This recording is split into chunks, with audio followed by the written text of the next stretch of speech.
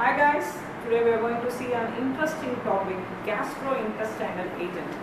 The name itself implies gastro means stomach. The ailments or the disorders which occur in stomach and intestine and the agents which are used to treat all these disorders is called gastrointestinal agents. Before stepping deep into this, let me ask some few questions. It's not about the previous lecture we had, but about the last meal you had. Yes, what do you had? Oh, chapati with chana. Yeah, that's good. It's a protein diet. Sandwich. That's a snack, man. Better you have four to five sandwich, right? What about you? Oh, you had biryani. Yeah, yummy, hot and spicy. Chicken or meat? Meat. Yeah, good protein diet. So after your meal, how do you feel now? Do you feel your stomach is expanding a little bit? Or you are feeling still more hungry? Okay, whatever it might be. First we have a look of video of the system involved in digestion. Yeah, here we go.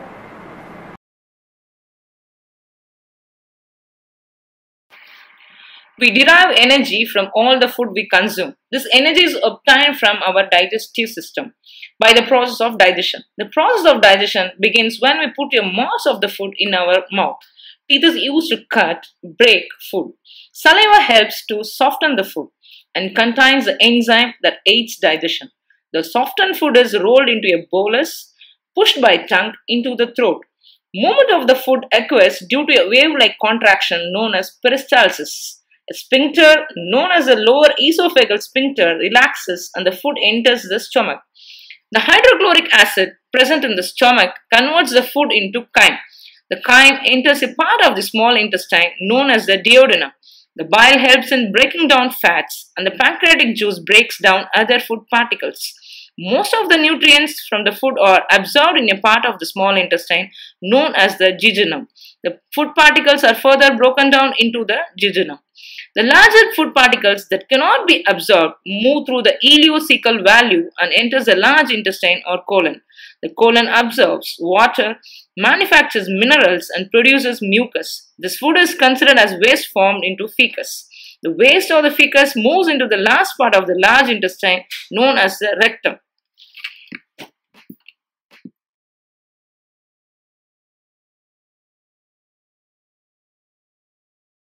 So how was the video? Hope you learned a lot of the, about the system involved in digestion, right? So the digestion starts from your mouth, it goes to stomach, there also digestion occurs and then intestine where a part of the digestion also occurs and absorption of minerals, vitamins, everything occurs. Then it goes to large intestine, finally it is excreted in the rectum.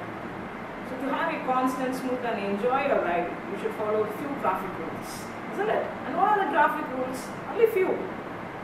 Eat your meals with regular intervals, drink a lot of water, probably 2.5 liters to 3 liters per day, depending upon your weight, and uh, have some uh, minimum exercise to stay fit.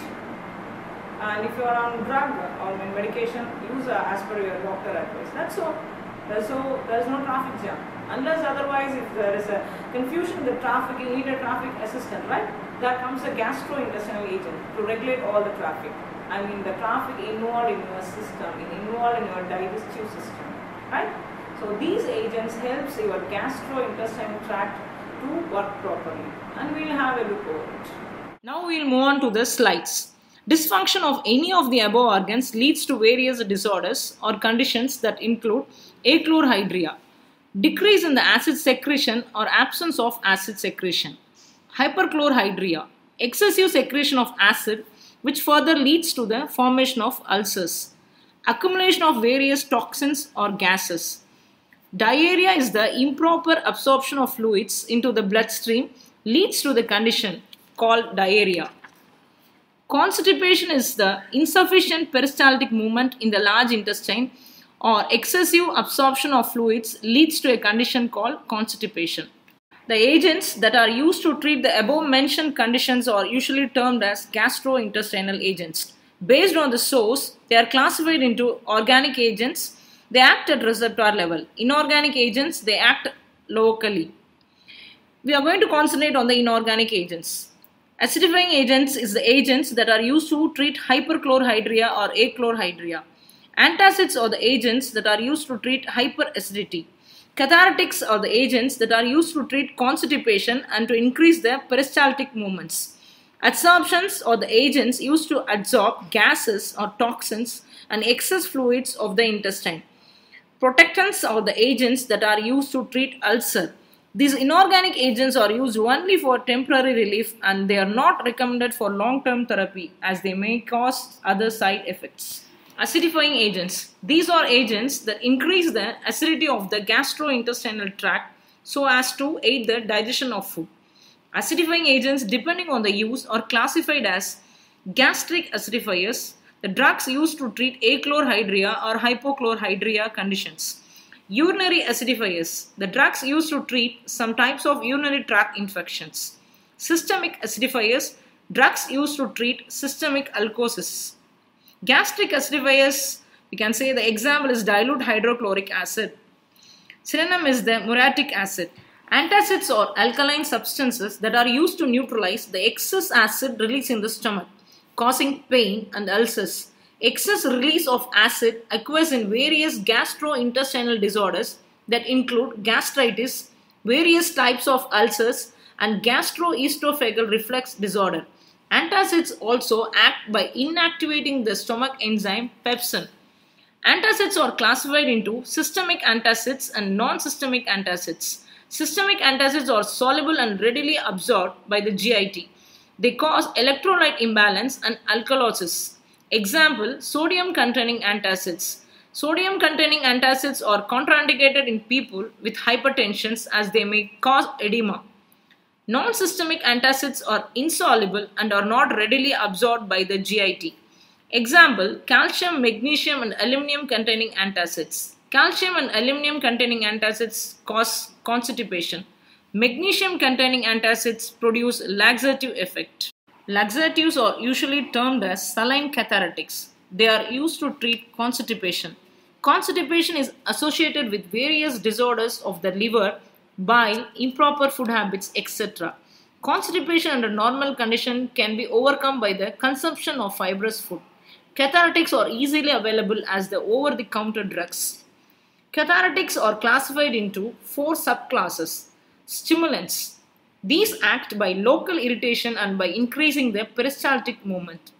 Bulk forming. These agents swell in the intestine and increase the bulk which stimulates peristaltic movements.